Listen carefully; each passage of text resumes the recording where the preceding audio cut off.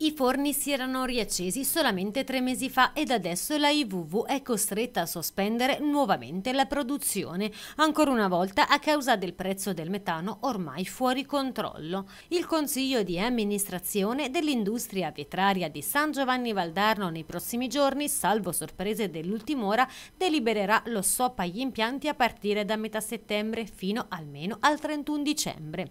Una situazione paradossale se si pensa che gli ordinativi sono in crescita del 35% rispetto al 2021, ma le bollette ormai triplicate non lasciano grossi margini di manovra.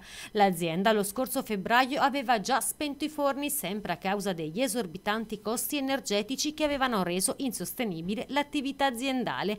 Era così scattata la cassa integrazione per tutti i dipendenti. L'azienda anche adesso sta già lavorando sul fronte degli ammortizzatori sociali.